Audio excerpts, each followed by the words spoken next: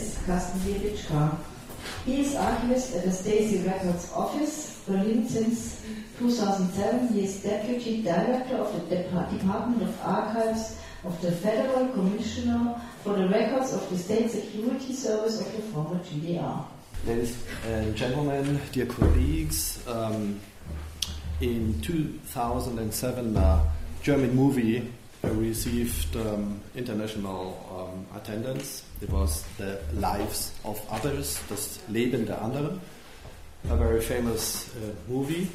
what this movie shows was the daily work of the Secret Service, of the East German Secret Service, the Staatssicherheit, the Stasi. What the movie doesn't, uh, didn't um, address in that detail was the information management of the Stasi, the archive work. So um, today I want to give you a short look behind the scenes of this archive work. Uh, first, um, I want to just a very short overview about the holdings, the archival holdings of the Stasi Records office. And then, second, I decided to uh, choose one example, the one of the most important index catalogs of the Staatssicherheit, the uh, central card file on individuals. So, what do we house in our archives? We have a lot of paper, uh, around 100 kilometers of paper records, which means files, documents, maps, drawings, technical drawings, um, 12 kilometers, just 12 kilometers of Stasi index catalogs, which means nearly around 41 million index cards and uh, 4,500 index catalogs, 47 kilometers of uh, Stasi microfilms, 15,500 bags of shredded Stasi material uh, torn by hands. We still have them and we started to reconstruct, but um, we're still working on that. And 1.7 million photographs. Um, as you can imagine, uh, secret police uses a lot of all these audio-visual possibilities to um, screen people.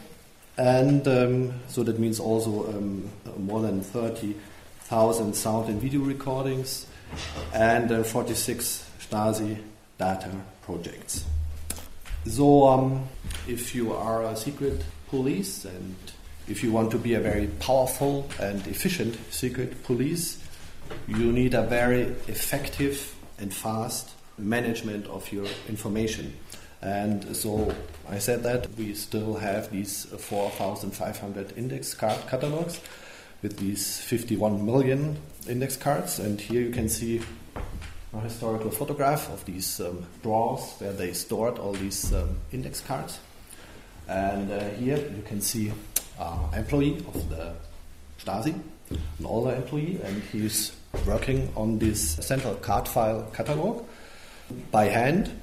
Um, so let's focus on the central card file catalog. What is the structure? Uh, what is the clue about it? So just about the numbers. You see there are two different sort of index cards. This one and that one. On the left hand side, this one is the real name catalog, and the Stasi they sorted it by the format, the printed forms. There's the printed form 16, as you can see here, and there's the printed form 22. This is that one. So, and there are two different index um, catalogs, index card catalogs, but they are linked together. Uh, on the left hand side, these are about 7.7 million index cards. On the right hand side is 2.2 million index cards. So the whole sum nearly 10 million. And uh, so may I ask, what is the link? And uh, I guess you can see it. Is this registration number? This one is sorted by um, alphabetical order, and that one by numerical, by this number here.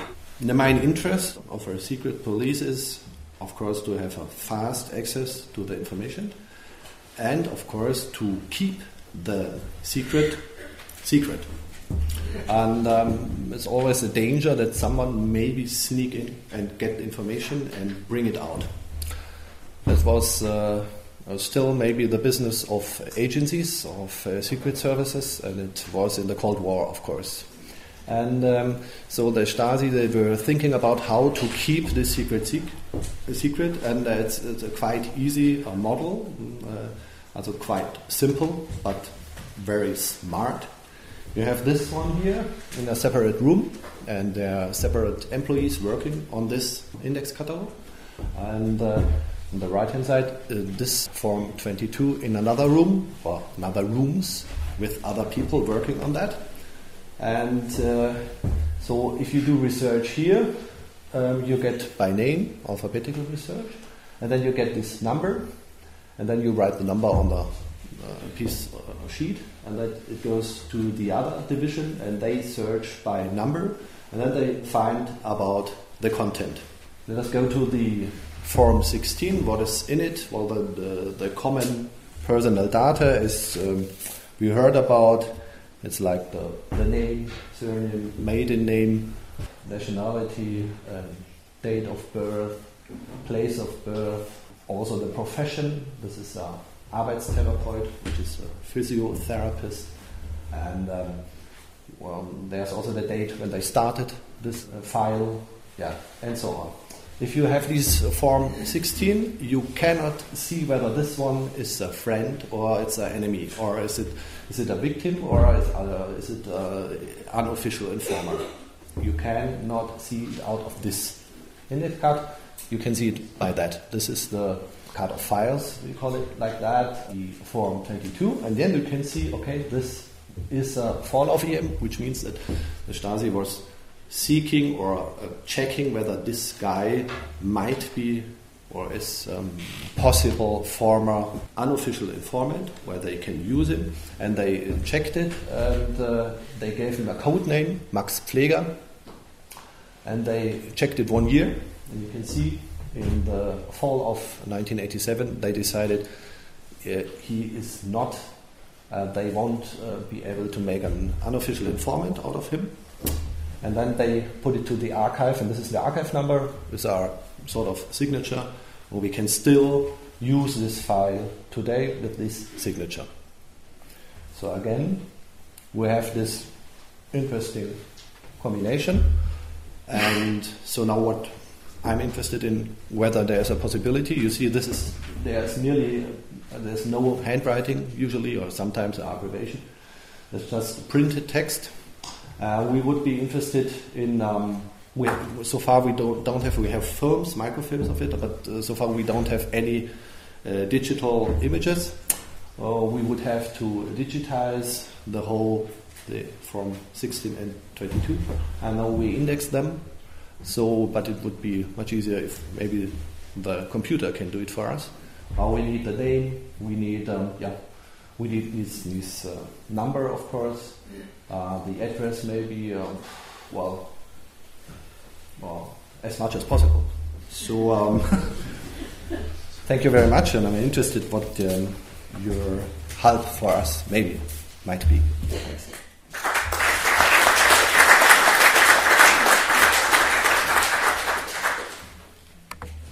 Thank you. Uh, my question would be, uh, I mean, I think uh, the most important task is probably to match the two numbers. Yes. Um, I think that's something more or less trivial. Okay. Uh, that sounds good. that that can be done. Yeah, that can be done. Just you, you just say you want to have it, and then people will do it. Yeah. Uh, it, it, it's more or less that simple. Of course, it needs it needs something. But if, if it is rather stable, maybe there's even a system within this number, uh, then it becomes even easier to apply some rules to, to check if there's uh, a kind of uh, uh probable error. Because as we can see, there are a lot of uh, yeah, maybe misspelling and so Yeah, it's always the same scheme. We have this Roman yeah. number, and then you have this current number, and then you have the year of starting the file. Okay. But there is something, so it's just no problem, this fading sort of. Okay. no. You, you will need training data, that's clear, okay. and you will need to to uh, to have a closer look to this, that's clear. But uh, to then to match it with a very high probability, with a very high probability, so that you can trust on it. Yeah, Yeah, uh, is is uh, of course possible. There's a question. Yes. Is there any redundancy? Sorry? Is there any redundancy? I mean, the numbers are uh, consecutive or Unique or are unique? Are, are I mean, giving a Well, these, these like- numbers are like in- unique. In, in IDs that uh, you have uh, one more number, so that the checksum should be different. So No, these, these numbers are unique. That's just one. yeah, but, one- but, but you may have uh, XX one, uh, two uh, one six six eight seven, One year later. one year later? Yeah. or Well, there is no, maybe there is no checks on system. no, no I'm pretty checksum, sure no just redundancy. definitive, no, no code. Redundancy would be much easier, but without redundancy, redundancy would not be 100%.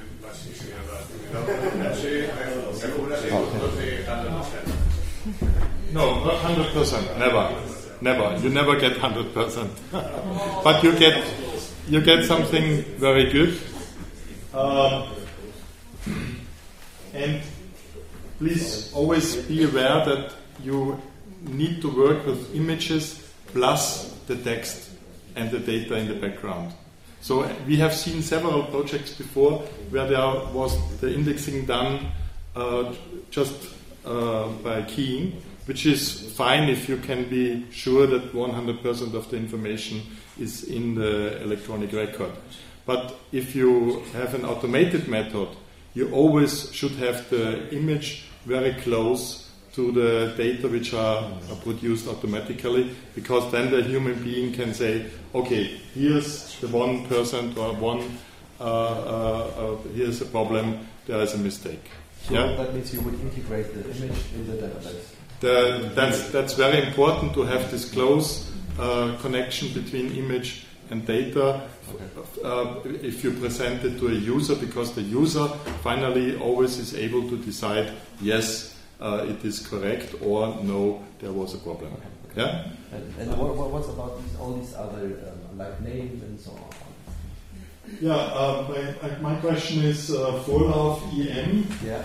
Um, that's important, I guess, because uh, of course you would like to know afterwards, uh, just by pressing a button, how many people were Vorlauf IM or how many people uh, were actually uh, working.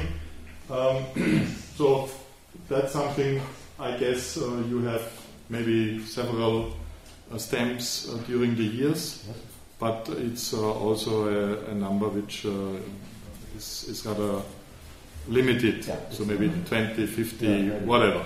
Yeah.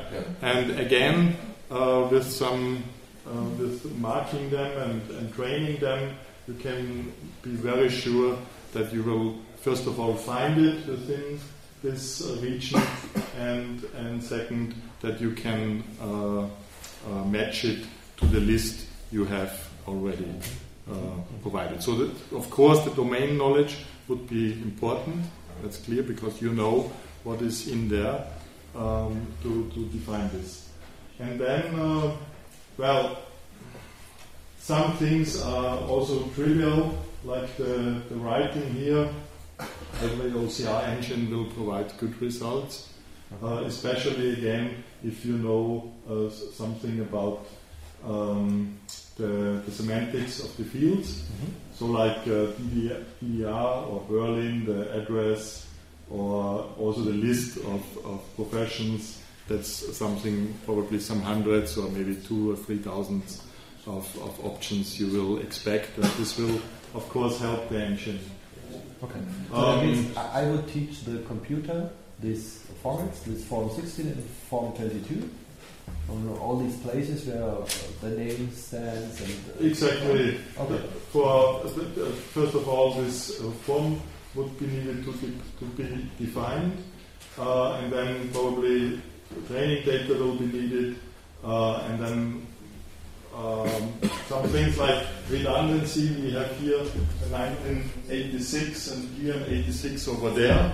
If this appears on 50% of the cards, it can be used to validate also the number, yeah, and to validate back the, the date. So there is a, a lot of, of, of possibilities. I mean, here very fainted, um, uh, very fainted writing. Probably this gets lost. Uh, I mean, that's hard to say, but um, that c- could be lost. But anyway, I mean, uh, you will get a lot of information out of that, and, and you will have the link. Okay. But, but Mr. very, Mr. Robert. Uh, there's no 100%. That's important. That- Okay. Never expect 100%. Uh, Be satisfied if it is. Uh, 90?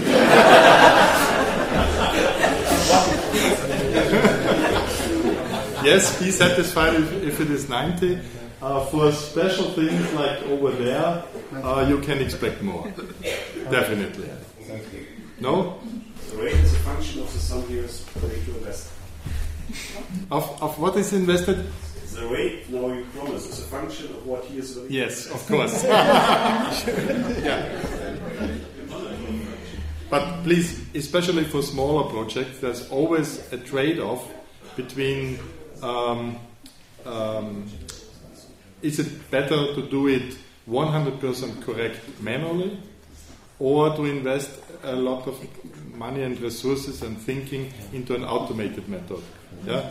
So um, if you have one million of pages, then usually it is better to invest money into automated processes and live with the fact that uh, you have for some fields maybe 97% of accuracy and for other fields maybe just 85 or 80%. But you, you yeah.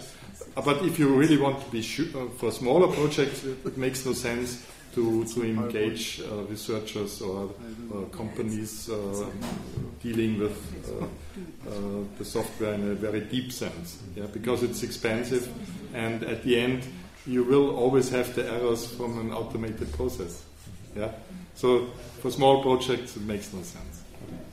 So we have two other questions.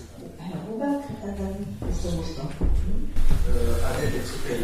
I just wanted to emphasize one thing that should be said, because uh, we all know that even if you do so by hand, you never get 100%. Okay. That's the difference. So if we automatically get something like 90 and then your project is running on, as we all know, uh, it's uh, important to know that you never get 100% as uh, is known in, in archives. This was something I wanted to say. Something else uh, is more a question. We have seen uh, with your material that there is, under the first uh, white uh, block on the right hand side, a huge, which is now gone away anyway, a huge difference between a very little script written by typewriter and then a very big stamp uh, very near and very close. It was Registrierungsnummer, I think, REC, NR, and then a very big stamp. Uh, is that a problem to our computer scientists that there are some characters, one very small and nearby one, uh, one other very big? Is that a problem